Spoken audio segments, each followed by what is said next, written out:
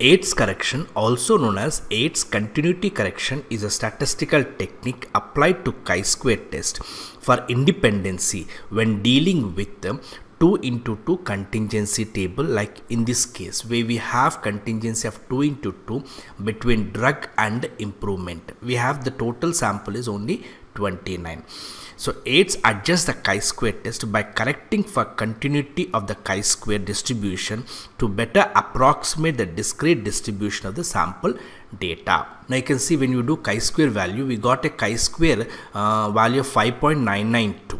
So we must do Yates correction in this case. The continuity correction is 4.302.